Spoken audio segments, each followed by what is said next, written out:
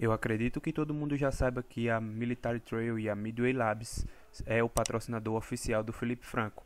E desta vez, é, a Midway também será o patrocinador oficial do Mr. Olympia, ou seja, será o principal patrocinador do maior evento de fisiculturismo do mundo.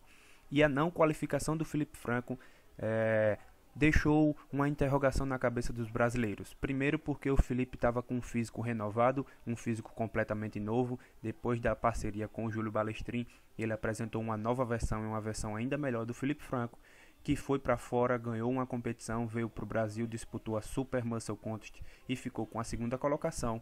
E a partir daí o Felipe parou de competir e somou somente 12 pontos, se eu não me engano. Dessa maneira, ele acreditava que seu nome ficaria dentro da lista de classificados para o Mr. Olímpia, e quando a lista foi anunciada, o Felipe Franco ficou de fora por apenas um ponto.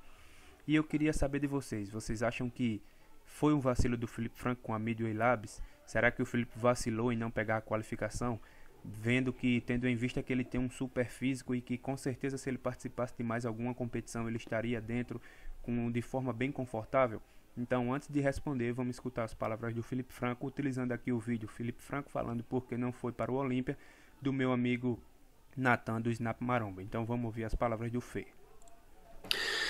Olímpia esse ano parece uma coisa meio louca, né, mano? Mas vai ver na fita. Então, esse ano, a Midway Military Trail é a principal patrocinadora do Mr. Olímpia em Vegas.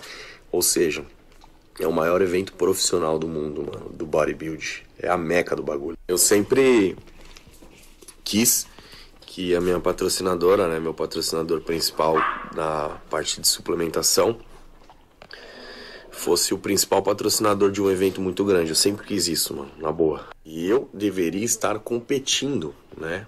Mas por forças maiores aí, o Franco tem que estar tá fora do palco. As coisas da vida, né? Mas tá tranquilo.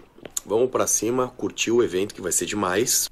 Ou seja, então eu vou estar lá registrando todo o evento para vocês. Seria mesmo coisas da vida ou será que faltou um planejamento melhor do Felipe Franco junto à sua equipe? Será mesmo que é, essa vacilada que o Felipe deu não causou nenhuma desavença entre a Midway Labs e o Felipe? Será que o maior ícone do, do bodybuilding do Brasil é, vacilou em não, se, não pegar sua qualificação para o Mr. Olímpia, eu acredito que para nós que gostamos do fisiculturismo foi um vacilo muito grande para com a gente e com os fãs do Felipe.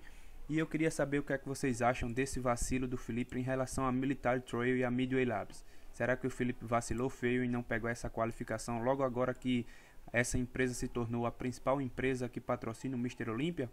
Ou será que é coisas da vida, tem que aceitar e levantar a cabeça, porque nem sempre o nosso planejamento sai da, da maneira que a gente queria? Será que o Felipe vacilou? Ou será que foram desavenças que fizeram com que o Felipe não foi para o Mr. Olímpia? Então, responde aí nos comentários, vamos levantar essa discussão e saber se houve desavença ou não entre o Felipe Franco e a Midway Labs, que agora é o principal patrocinador do Mr. Olímpia. Então, quero ver a opinião de vocês, deixa aí nos comentários e vamos trocar aquela ideia.